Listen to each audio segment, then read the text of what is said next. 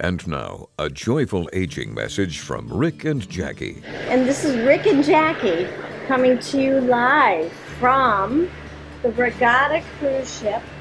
And we're currently on the sea. We just left Wellington on our way to Gisborne, New Zealand.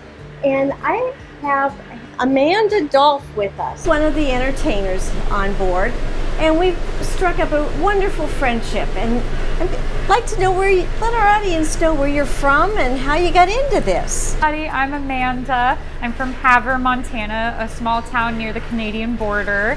And I went to college at Oklahoma City University. I graduated a few years ago with my degree in music. Ever since college, I've wanted to perform on a cruise ship, and here I am on my third cruise ship contract. What are we doing tonight? We are doing a show called Debonair, which has a lot of jazz standards in it. It's my favorite show to perform on board.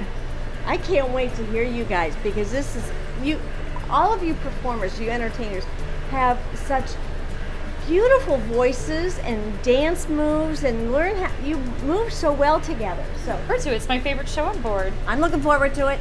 And that's it from the regatta. Thank you for watching A Joyful Aging Message. For more information, visit rick and Jackie.com.